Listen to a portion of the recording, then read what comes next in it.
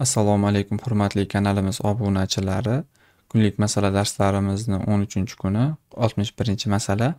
Quyida genotipi tasvirlangan organizmdan qanday gametalar hosil bo'lishini aniqlang deyilmoqda. Bizda bu yerda 5 ta geni bilan farqlanuvchi o'sha 5 ta allelga 5 juft allelga ega bo'lgan organizm tasvirlanmoqda. Biz mana shu organizmdan gameta olishimiz kerak bo'ladi. Avvalambor mana shu organizmda nechta gameta hosil bo'lishini aniqlab olaylik. Buning uchun heterozigota genlarga e'tibor qaratamiz. Masalan, bu yerda A genimiz heterozigota holatda turibdi, ya'ni dominant va resessiv genlardan tashkil topgan.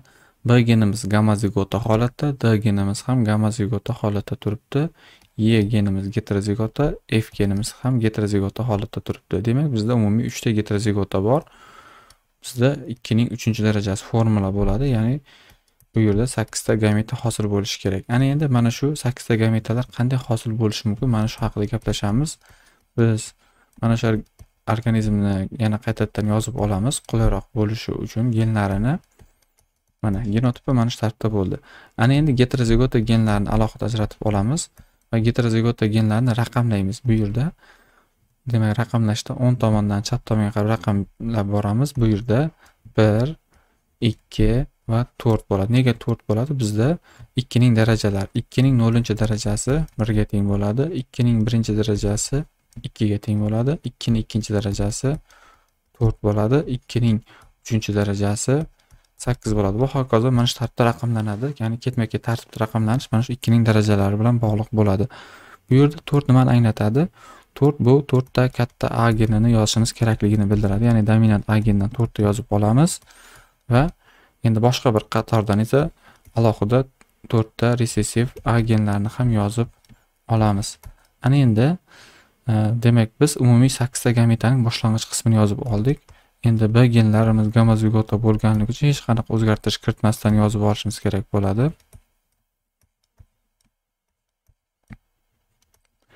D genlarimiz ham gamozigota bo'lganligi uchun ularni ham hech qanaqa o'zgarish kiritmasdan yozib olamiz.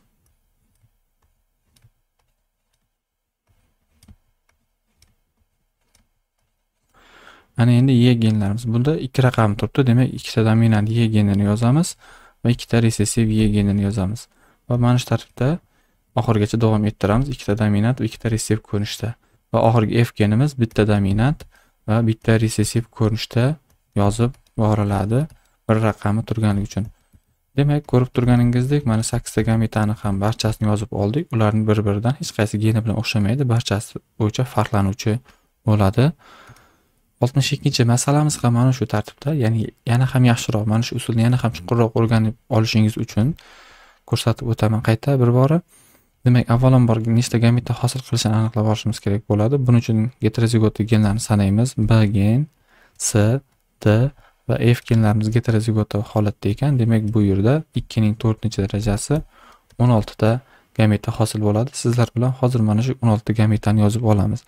Demak, Bu yerda raqamlashimiz kerak bo'lardi getrozigota genlarni raqamlash tartibi demak chap tomondan o'ng tomonga qarab, 10 tomondan chap tomonga qarab getrozigota genlarga raqam qo'yamiz. Faqat getrozigota genlarni raqamlab boramiz. 1 2 4 va 8 bo'ladi.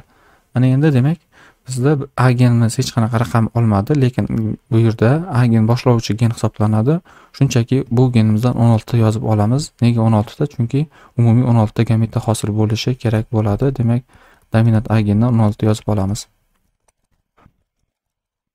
Mana a genlarimizda dominant holda 16 yozib oldik. Endi b genimizdan 8 tadan yozishimiz kerak bo'ladi. Ya'ni dominant b gendan 8 ta yozib olamiz keyin resessiya b gendan 8 ta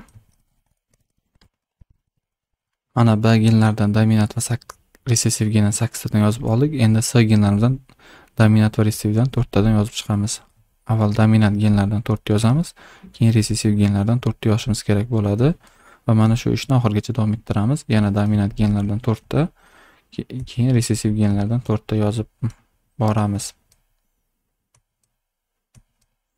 ya'ni endi D genlar bu genlardan ikkitadan yozishimiz kerak bo'ladi, dominant va resessiv genlardan.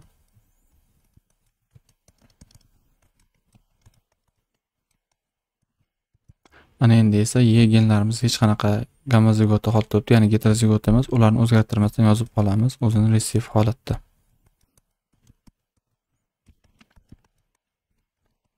Va oxirgi F genimizda esa bitta dominant va bitta resiv ko'rinishda yozib olamiz.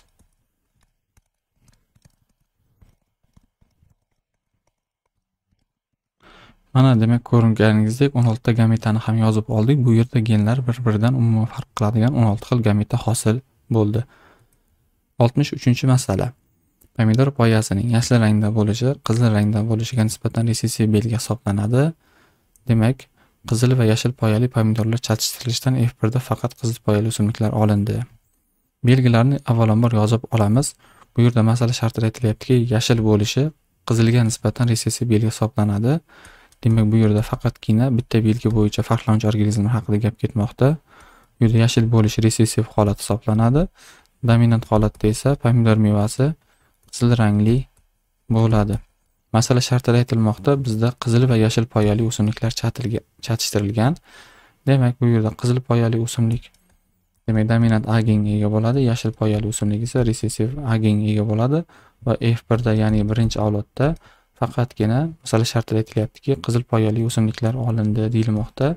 Bu yerda o'simlik qizil poyali bo'lsa, unga dominant A geni demak resessiv A genga ega bo'ladi, chunki bitta organizm faqat resessiv A genni bera oladi, chunki unda yashil rangni yuzaga chiqaruvchi genlar bor, faqatgina dominant genlar yo'q va bu organizmda esa e, dominant A gen bo'lishi kerak. Agar bu yerda resessiv A gen bo'ladigan bo'lsa, qizil poyadan tashqari yashil poyali o'simlik ham chiqishi mumkin.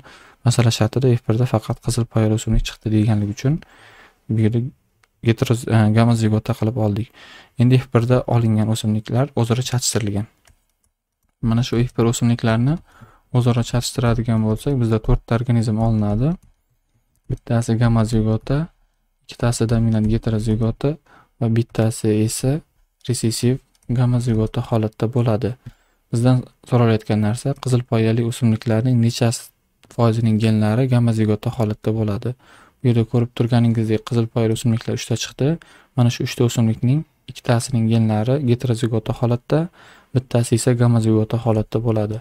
Demak, umumiy 3 ta qizil poyali o'simlik bor 100%.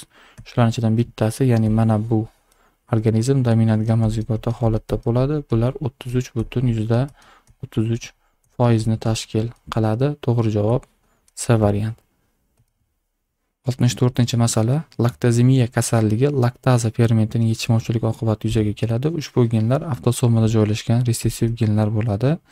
Heterozigot organizmlar yengil kasal bo'ladi va laktazemiyaning yengil formasi bilan kasallangan ota-onaning farzandlarining fenotipi aniqlang deyilmoqda.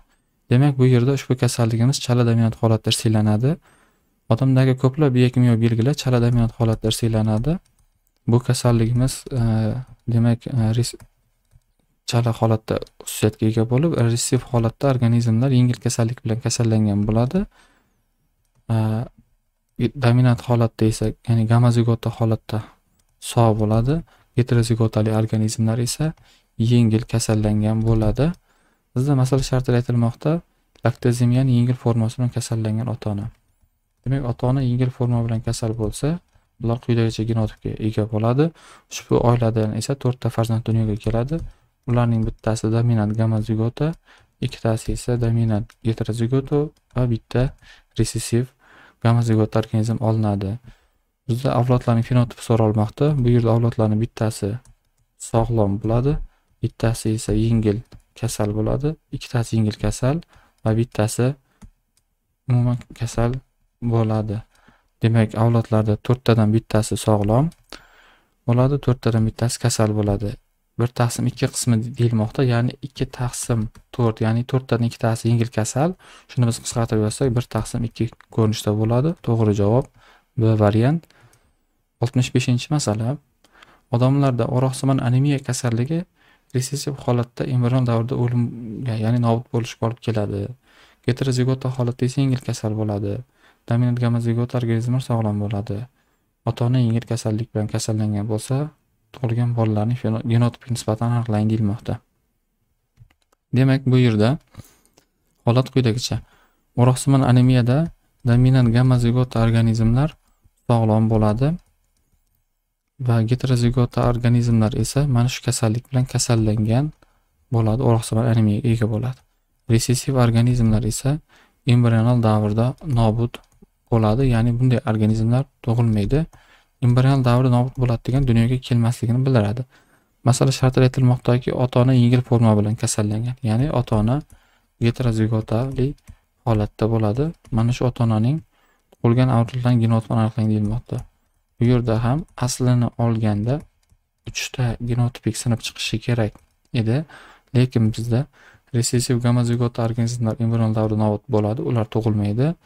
Organizmlar genotipik nisbat birga ikki ko'rinishda bo'ladi. Ya'ni tug'ilgan organizmlarning ichida. To'g'ri javob a variant. E'tiboringiz uchun rahmat. Yana mana shunday masala yechimlarini o'tkazib yubormaslik uchun kanalimizga obuna bo'ling.